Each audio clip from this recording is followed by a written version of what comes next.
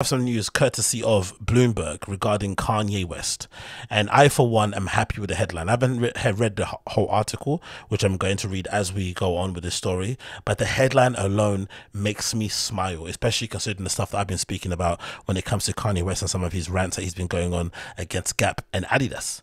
So the headline says as follows Kanye West is done with corporate America. He'll go at it alone. The sub headline says the rapper and designer is sticking to his current contracts, but says that's it. No more corporations. So no more company standing between me and the audience, which I'm super happy about because I've said it for the longest time, for the longest, longest time, especially more so recently.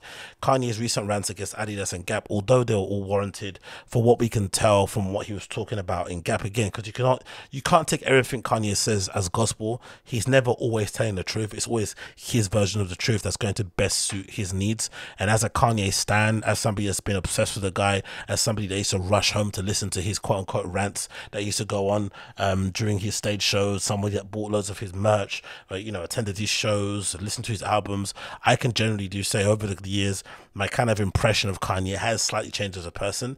But what I can't do understand about the dude when it comes to him talking vocally about these big obstacles that he's faced or these challenges he's facing in terms of his business and getting his ideas out there, usually there are elements of the story that aren't exactly always true, but help to kind of further his point and help him to get to a point he needs to get to. And ultimately, it's a point that's going to help everybody. So even if he is lying, it doesn't necessarily matter because in the end, his kind of um, willingness to kind of be so vulnerable and talk about these sort of things in public will end up helping kids coming up when they end up doing um, business with big corporations if they want to start doing design, all that sort of good stuff.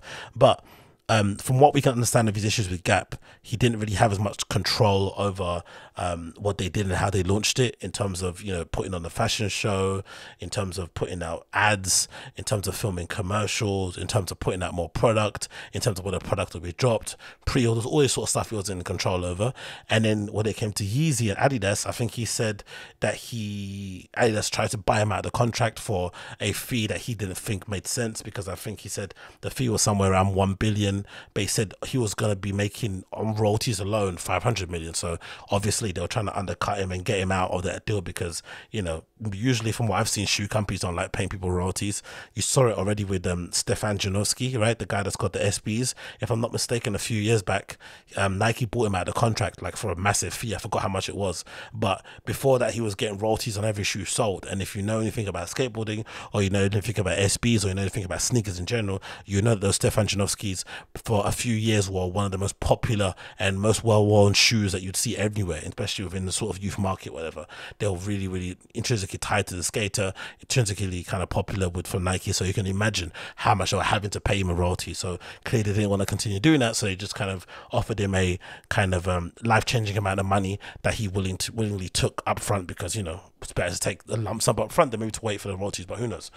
Um, so clearly both situations for Kanye have been tricky to deal with, but my main point when I was speaking about it prior was I feel as if like Kanye even though he's got all these years of experience working in the industry, he's had many ups and downs, many deals, many whatever. For some reason, he still hasn't got it through his head that corporations are always going to cooperate. They're always going to do what they do best, and that is fuck over creatives. And I've been really adamant, especially myself and in my journey and the things I want to do, that if ever I had the opportunity to work with a corporation, one of the main things that I would do stipulate is the term of the contracts in terms of length and in terms of deliverables, but it'd be a very short contract. It'd be a very, you know, anywhere between a year to five years, and with some key deliverables. We'd shake hands on the end of the day, and then walk away. You know, so we'd shake hands on it, and then at the end, you know, would make sure we kind of we're both happy with what we got, and then go our separate ways. But there'd be no kind of um there'd be no kind of naivety on my side in terms of thinking I can come in and reshape this company and pull it kicking and screaming into the 21st, 22nd, 21st century. No, it's not happening. Corporations are always going to cooperate because for the most part, corporations are run by soulless, vapid, you know, lacking in creativity people. Hence why they got you in for the first in the first place. But they also don't really think creativity is that important because for the most part, they've been able, especially a company like Gap and Adidas, for for the most part, they've been able to kind of get by on just selling kind of basics, you know what I mean? On kind of getting by just through just pure legacy alone. So for someone to come in like Kanye and want to kind of tear up the, the the kind of playbook to fundamentally change how they do retail, to change how they do pro- pro- uh, um, marketing, to change how they do manufacturing, all that kind of stuff, um, just to kind of showcase the ways that he's doing. It wouldn't make sense to them. So I was under the impression that for whatever reason, Kanye doesn't seem to understand that, and he's still kind of trying to fight against it. But I also thought to myself, it's maybe a good thing that he's so adamant on trying to change how corporate America works because maybe he might be foolish enough to actually make it happen. And then, like I said before, other generations of people will end up kind of um, kind of enjoying the fruits of his kind of struggle.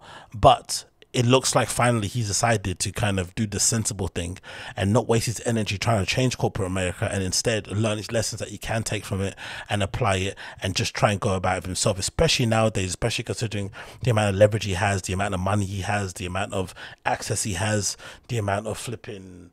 Um, you know, uh, credit in the bank he has from the work he's done prior.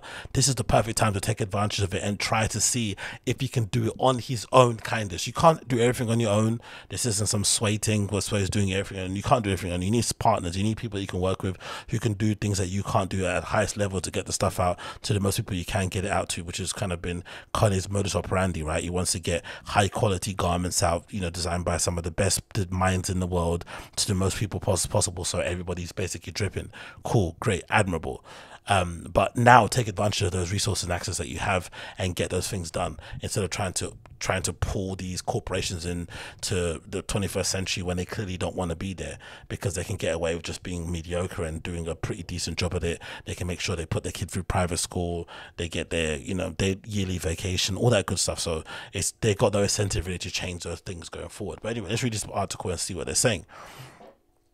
It says as follows um, Rapper and designer Kanye West has now goes by Ye, says he's done with corporate America. His quote says as follows It's time for me to go it alone, Ye said in a phone interview. It's fine. I made the company's money. The company's made me money. We created ideas that will change apparel forever, like the round jacket, the foam runner, the slides. They've changed the shoe industry. Now it's time for Ye to make the new industry. No more companies standing between me and the audience. I love to hear that. I love to hear that. And that's true, though. He has made some absolute wins in his short career. Um, within the kind of clothing manufacturing kind of industry, right? All those kind of wins he's listed have been pretty monumental. It continues. Even with billions of dollars in revenue and two of the most fashion industry's most lucrative uh, royalty deals at stake, Ye has now shown um, full willingness to publicly battle the very same corporations he's worked most closely with. But there are some obstacles to too clean to, but there are obstacles to a clean break. Um, foremost are his high profile long term arrangement with Adidas to produce sneakers like Yeezy Boost 350, which expires in 2026. That's not really that too long, only four years. It's all right, isn't it? um, and the apparel agreement with, Gap, which ends at 2020, 20, 2030, sorry, 2030, sorry. And they all just have to get along. He says as follows, which is my best quote I love in this entire interview. They are my new baby mothers um, says Ye. I guess we're just going to have to co-parent these 350s. Absolutely incredible quote. A representative for Adidas and Gap declined to comment. Ye intends to open his own Donda campuses named after his famous, his late mother, sorry, across the country, which will house shopping, schools, farms, and dorms all together. Products sold there will be unique to the Yeezy's physical and online shops um, and designed by existing Yeezy staff. He said he's working with former Adidas executive Eric Liedtke, who now runs an independent plant-based clothing operations Unless Collective. Um, in recent weeks, he has also been urging potential job candidates with expertise in operating retail networks to reach out to him. He also has been operating Yeezy Supply, the e-commerce shop that serves as a primary resale point for all Yeezy goods, hitting the market in the endless stream of series of drops.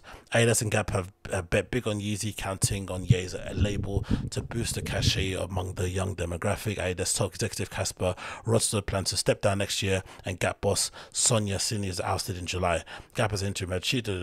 Anyway, so he says, follow has repeatedly called out Adidas and Gap and has requested to be added to their board without success. If I argue with somebody broker than me, the only outcome is that I get broker. okay.